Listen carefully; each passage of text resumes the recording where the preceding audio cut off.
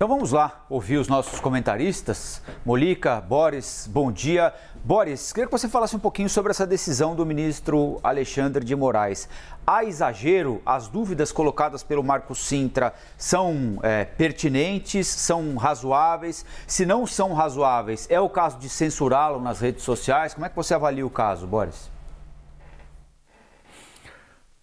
Bom dia, Rafael. Bom dia, Muriel, que está conosco hoje, substituindo a Stephanie. E bom dia, Molica. Bom dia a todos. Olha, isso é censura. Não tente definir isso como qualquer outra coisa.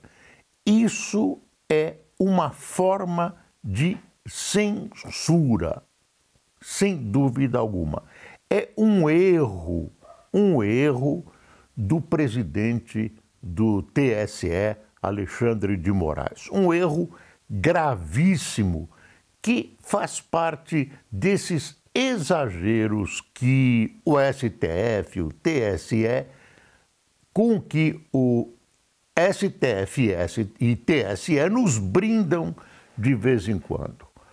O uh, Marco Sintra, eu trabalhei com ele durante alguns anos na Folha de São Paulo.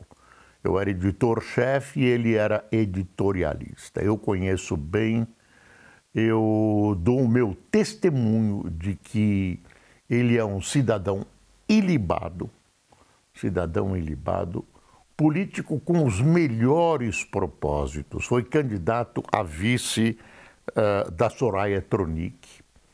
Uh, e o que ele coloca é uma dúvida que pode aparecer na cabeça de qualquer brasileiro.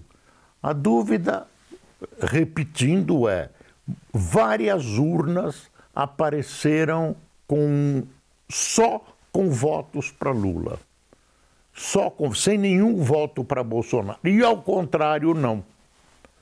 Num pleito equilibrado não custava o TSE vir a público e responder, tecnicamente, deve ter uma resposta ao, uh, ao questionante, ao, ao Marco Sintra. Bastava isso. Não censurar o seu Twitter, não censurar a presença dele na internet. Que história é essa? Estamos caminhando para censura, para censura e para censura.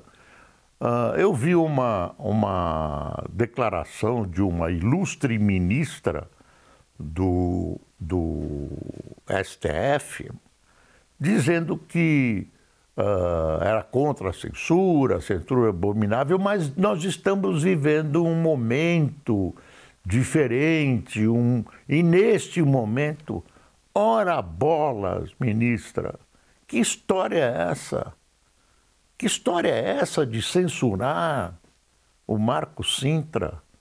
Ah, qualquer pessoa. Eu estou colocando o Marco Sintra como um democrata, uma pessoa que tem um histórico, foi deputado federal. Quer dizer, as pessoas conhecem o Marco Sintra porque ele está sendo vítima, a sociedade brasileira nesse momento está sendo vítima de um erro que nos conduz, né? é excesso de tentar fazer as coisas bem feitas, nos conduz à censura. O que o ministro uh, Alexandre de Moraes fez foi censurar Marco Sintra. Foi isso.